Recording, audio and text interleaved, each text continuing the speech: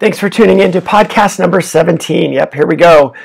Uh, I appreciate everybody taking the time, and I'll say that every time because uh, I know everybody has busy schedules, uh, and it does take uh, it does take a little bit to to set this up to where you you set some time aside to uh, to listen to these. So I appreciate everybody taking the time to do that, uh, and the, the, people that have written in or they stop and see me at the track and talk about these. So very much appreciated, and I appreciate the people uh, that have uh, rated the thing on uh, I rate my podcast on iTunes. Um, I appreciate that as well. It keeps me motivated and uh, keeps me keeps me going uh, with this. So this podcast um, comes from people writing in, and it was written in a couple of different ways. And so when we get into this, we'll I'll try to address both both of the ways that people have, have asked about this. So it, it was asked a couple ways. So this this number 17 here is overcoming the fear of corner speed and oh, basically how do I increase my corner speed? And so we'll uh, we'll address both of those things. And uh, this is a very tough one, quite honestly, because um, it's very subjective and um, uh, it has a lot to do with uh, uh, people's pace and people's comfort levels as well. So this is a little bit of a tough one. So the first thing is let's let's really look at what corner speed is. And corner speed, corner speed um, is is really a byproduct of a good entry. And I want to say that first because people will say, well, gosh, I need to get my corner speed up. I need to get my roll speed up. And most of the times, that is because your entry is not as good as it should be. And when, when you get to the top of the sport, when you get to that last second or second or two seconds or whatever it is of, of pace, this usually is not an issue. And it's not an issue because the entry is so good.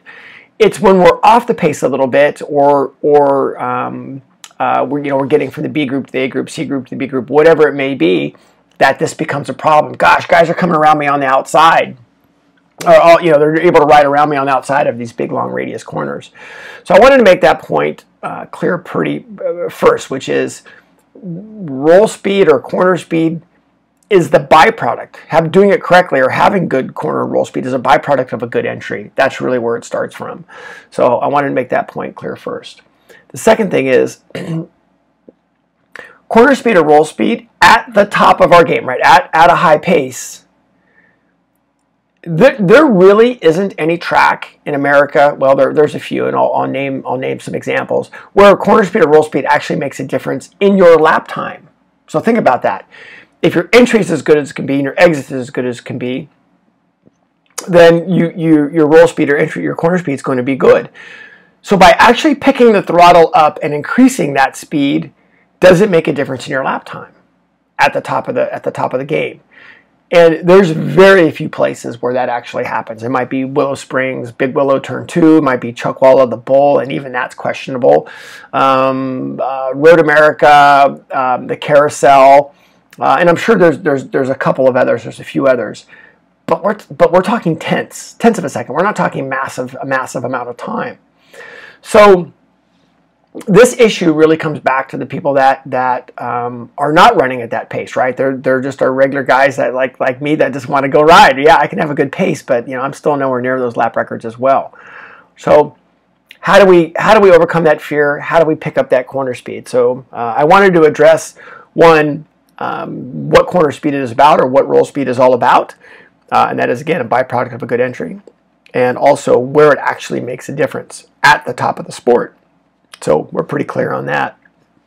We'll also have a really good report card um, to know that uh, to, to, know that you're that you're doing this um, correctly. So first thing to do, we've got a couple things. One is if we're going to go work on this, it's just like the other podcasts that I've talked about.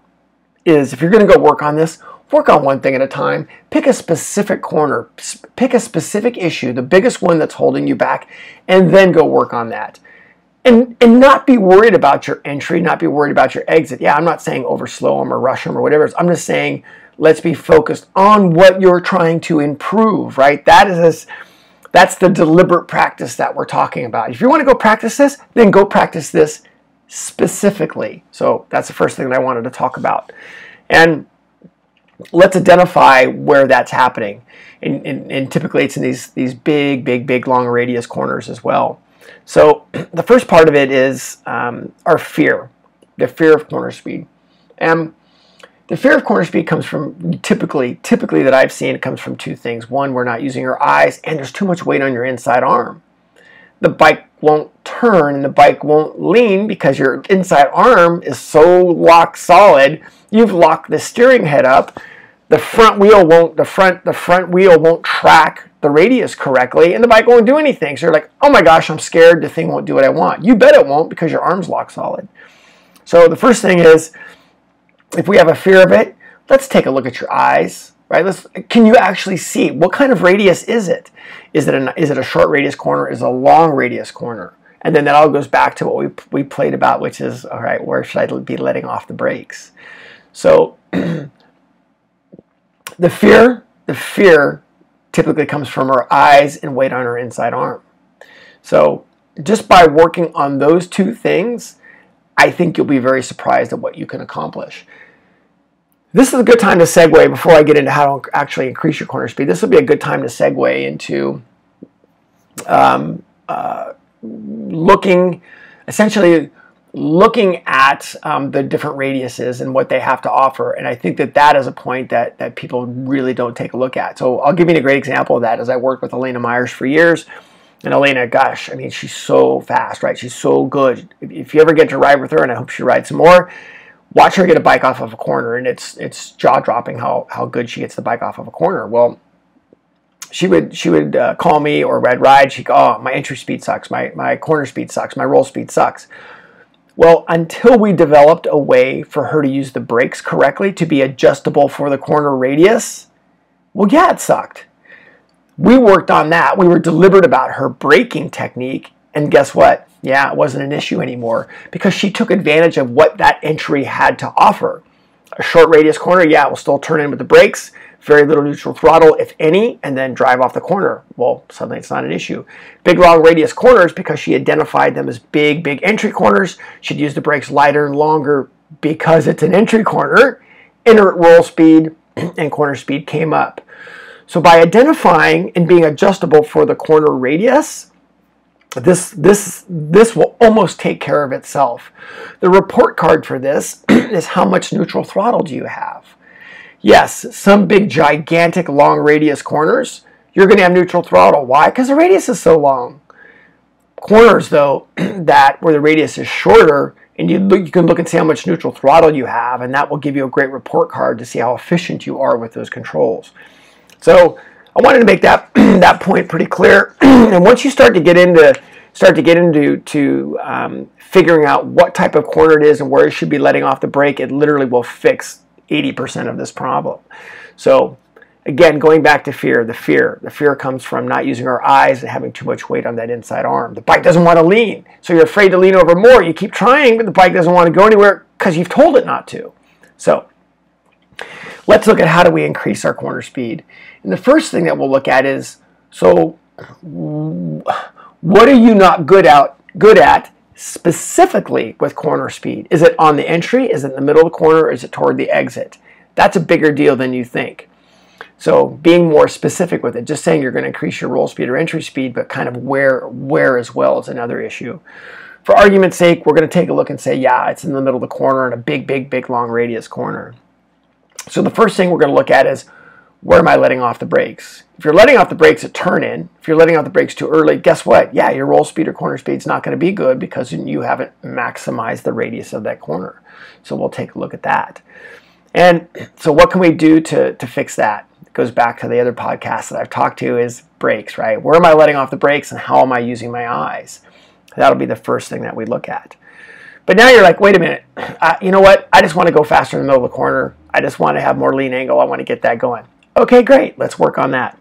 So where that comes from is, again, let's back up.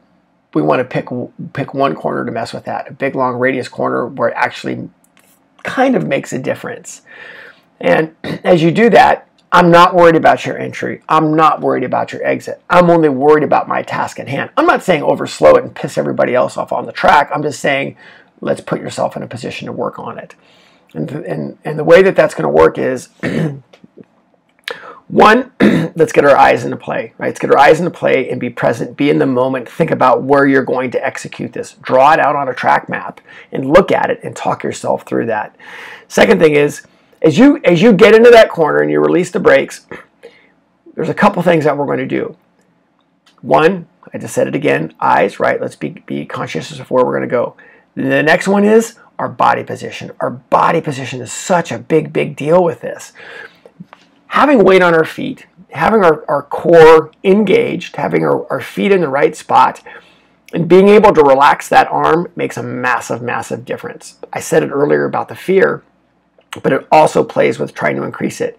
If you're trying to increase your corner speed and you've got massive weight on your inside arm, you've essentially locked the steering head. The bike won't turn anymore. You're not allowing that, that, that front wheel to rotate to allow the bike to lean over more. So let's make sure that inside arm is relaxed and your body position's in a, in a good spot. I think Nick Ienatsch said, a, said it really well, which what Nick, Nick would say is, hey, if your trajectory is good and your body position's good, with modern tires, your knee's going to touch before you lose grip. I just think that's a great way to say it. Nick does a great job with that. So think about think about that. So as you get into these big long radius corners, great. Your trajectory is good. Your body position is good. You got weight on your feet. Your inside's arm relaxed. There's a couple things that we can do. You can start to pick up the throttle. So let's say, for, again, for argument's sake, to maintain the radius of that corner, maintain the, the arc that you want, you'll use, say, 15% throttle, right, to maintain it. Well, now you can pick the throttle up at, say, 50, go from 15 to 17 to, say, 22%. Pick the throttle up enough. And of course, the bike's going to want to start to run, either stand up or run wide a little bit you're just going to maintain your lean angle. Your corner speed will come up, maintaining the same lean angle. Actually, your lean angle may increase a little bit.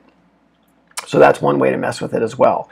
And you can see how, gosh, you know it's too much when then your radius opens up too much and then of course you can't get your exit as well. Or now your knee starts hitting the ground, right? Knee starts hitting the ground.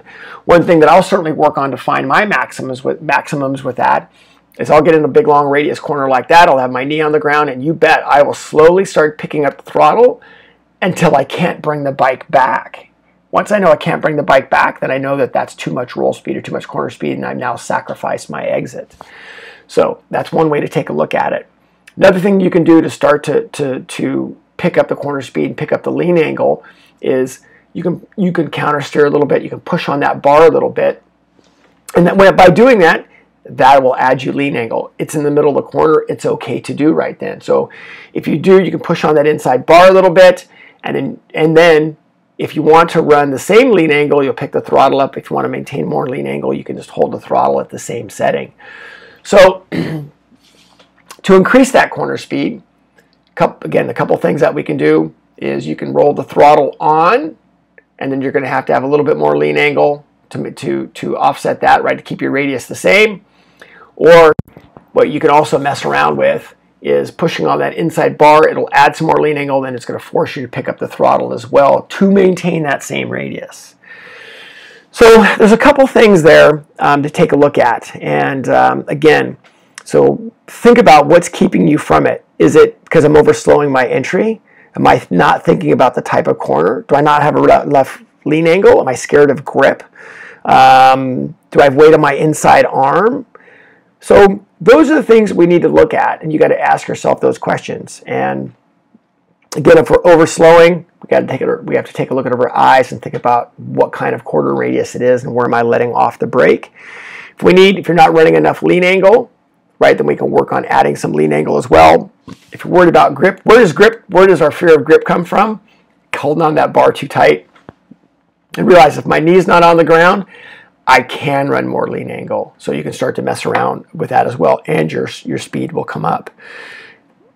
Having that weight on that inside arm is a bigger deal than you think in this position. So thinking about weight on that inside peg, especially on that outside, our, our head, our mass to the inside will help make a massive, massive uh, difference with that. Again, start looking at some of the report cards for that corner radius how much neutral throttle do I have?